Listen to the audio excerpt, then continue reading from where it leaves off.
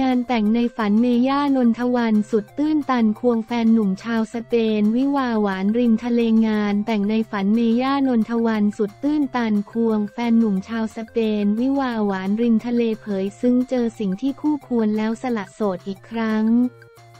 สำหรับอดีตนางงามคุณแม่ลูกหนึ่ง เมย่านนทวันควงแขนแฟนหนุ่มนายแบบสุดหล่อชาวสเปน ชาบี้ ชาเบเดอร์ เข้าพิธีวิวาห์ชื่นมื่นริมทะเล บรรยากาศสุดโรแมนติก หลังฝ่ายชายเซอร์ไพรส์คุกเข่าขอแต่งงานเมื่อเดือนมีนาคมที่ผ่านมา เรียกว่าเป็นงานแต่งในฝันที่สาวเมญ่าประทับใจสุดๆ มีคนที่เธอรักอยู่เคียงข้างในทุกช่วงชีวิต ช่วยกันเนรมิตงานออกมาในบรรยากาศโรแมนติก ริมทะเล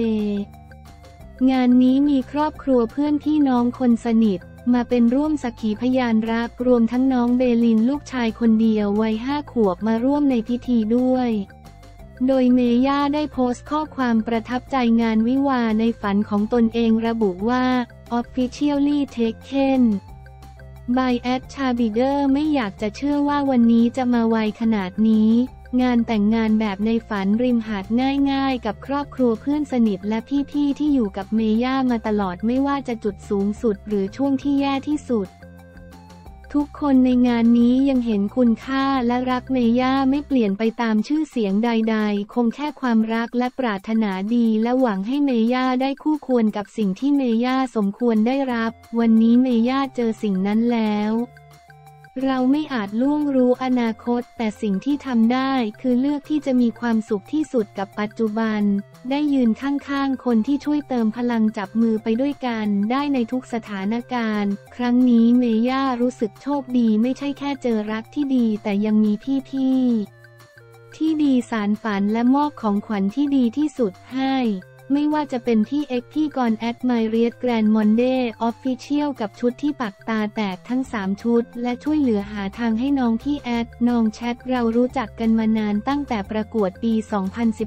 2011ดูแลความสวยให้จัดเต็มมากๆทั้งหน้าทั้งผม 3 ชุด 5 หน้าพี่ฉัดจัดให้อีกคนคนนี่รู้จักมายาวนานที่สุด แอดเบสบ้านไรตั้งแต่เราเริ่มจากศูนย์ทั้งคู่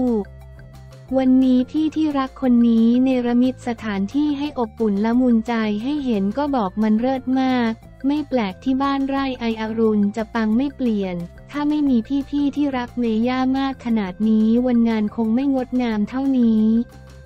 และที่สำคัญงานแต่งครั้งนี้จะไม่สมบูรณ์ถ้าขาดครอบครัวและเพื่อนๆแขกทุกคนในงาน ขอบคุณทุกคนที่บินข้ามน้ำข้ามทะเล ข้ามทวีปมางานสำคัญของพวกเรา Word cannot describe how grateful we are Thank you so so much ขอบคุณ IG My Aya Girl เ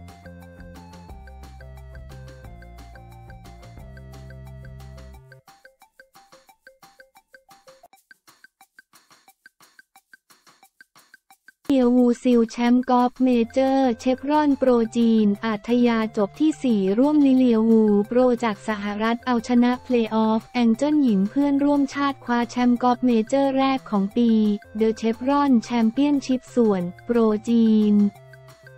อาฒยาฐิติกุลจบอันดับ 4 ร่วมการแข่งขันกอเอล LPGA ทัวร์เมเจอร์แรกของปี The Chevron Championship 2023 ที่สนาม The Club at Carlton Woods ในวูดแลนด์รัฐเท็กซัส ประเทศสหรัฐอเมริกาเมื่อวันที่ 23 เมษายน เป็นการดวลวงสวิงในรอบสุดท้าย ผลปรากฏว่าหลังจบวันที่ 4 มีโปรสองคนซึ่งทำคะแนนได้เท่ากัน นั่นก็คือลิเลียวูและแองเจิลหยินก้านเหล็กเจ้าถิ่นทั้งคู่ที่เก็บไป 10 อันเดอร์พาร์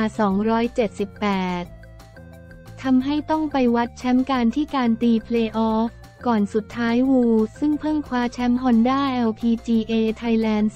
2023 เมื่อเดือนกุมภาพันธ์ เก็บเบอร์ดี้ซิวแชมป์รายการนี้ไปครอง พร้อมเป็น trophy เมเจอร์แรกในอาชีพด้วย หลังคว้าแชมป์โปรวัย 25 ปี เผยว่า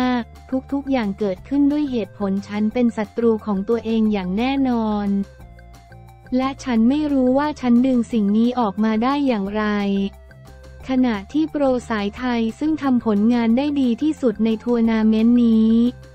นั่นก็คือ โปรจีน อาฒยาฐิติกุล โปรมือ 5 ของโลกที่ทำไป 8 อันเดอร์พาร์ 280จบอันดับ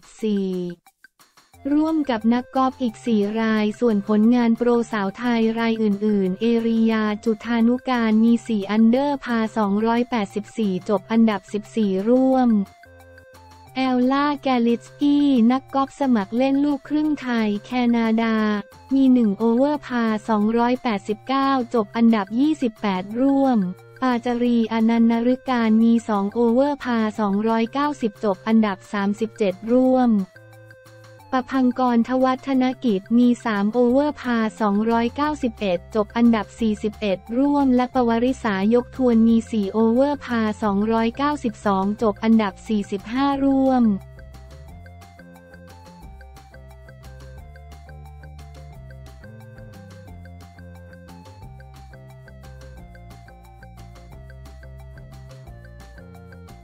สุธินันพิมพิชชาหวด ฉลุยเปิดเทนนิสไทยแลนด์สนาม 6 การแข่งขันเทนนิสอาชีพ ไทยแลนด์แชมเปี้ยนชิพประจำปี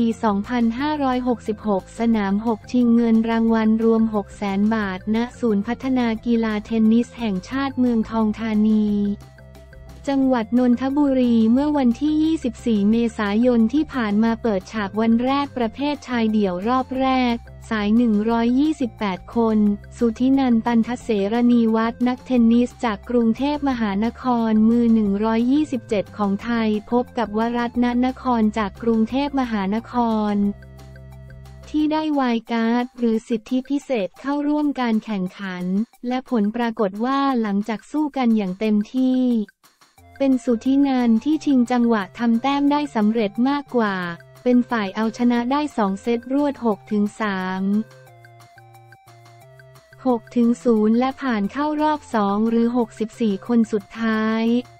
ไปพบกับนัทสิทธิ์กุลสุวรรณเต็งสีจากกาญจนบุรีและมือ 16 ของไทยที่ได้ใบรอบแรกด้านประเภทหญิงเดี่ยวรอบแรก สาย 64 คนพิมพิชชาคงวัน นักบวชจากนนทบุรีที่ยังไม่มีอันดับประเทศไทย ฝ่าด่านแรกได้สำเร็จหลังจากเอาปทิตตาสิงห์ทองจากนนทบุรีมือ 48 ของไทยได้ 2 เซตรวดด้วยสกอร์ 6-3 6ถึง3ทีมพิชชาผ่านเข้ารอบ 2 ไปพบกับทีมมาดาทองคำมือวางสีจากสุราษฎร์ธานีและมือ 17 ของไทยที่ได้บายรอบแรกในส่วนผลการแข่งขันคู่อื่นๆ มีดังนี้ชายเดี่ยวรอบแรก 128 คนนำทัพปัญญาภูกทม ชนะนัทกฤษการแสงอิน กทม 6-2 6-2สิวนาถอุ้ยตยกุล พัทลุง ชนะภูดิษฐะประพัฒสิริกุล นครราชสีมา 6-0 6-0 วรเมศบุญพึ่ง สุริน ชนะปรินพาณิชสมุทปราการ 6-4 6-2 สวิตกิตินิรันกูล กทม ชนะเนติธรจิรมหาวิทยากุล เชียงราย 6ถึง3 6ถึง0กริตเมธธรรมกุล สุราษฎร์ธานี ชนะจิตพานุการจนพฤทธิพงศ์พระนครศรีอยุธยา6ถึง1 6ถึง2อัดดิตศิลาอาจ ชนบุรี ชนะปรินอินทรพรม กทม6ถึง3 6ถึง2นภัทรถาวรวณิชกทม ชนะเพิ่มภูมิพานุวงศ์นครราชสีมา6ถึง4 1-6 และ 6-2 รัชานนท์ไกรกิติวุฒิปทุมธานี ชนะจิรัตการจนพฤทธิพงศ์พระนครศรีอยุธยา 7-5 6-2 ปวริศอยู่บำรุง เชียงใหม่ ชนะธนาทิพโปติ นนทบุรี 6-0 6-0 แดนไทยตาก้อง ปทุมธานี ชนะนัฐกิจ ธีรโชติจิรานนท์ประจวบคีรีขันธ์6-2 6-0 ขณะที่หญิงเดี่ยวรอบแรก 64 คนซิรินพงทองเมือง กทม ชนะปายจิรวานิจเจริญ นนทบุรี 6-0 6-0 สุพนิษนพริตพังงา ชนะมาลินพงทองเมือง กทม 6-1 3-0 รีทีดี หายใจไม่ทัน สุกริตาสุกแก้ว พัทลุง ชนะกมลพรจิรมหาวิทยากุล เชียงราย 6-1 6-1 อิสรีสัทนาสาวภาค ปทุมธานี ชนะวาริสาอินทรพรม กทม 6-2 6-2 สำหรับผลการแข่งขันคู่อื่นๆ ดูรายละเอียดได้ที่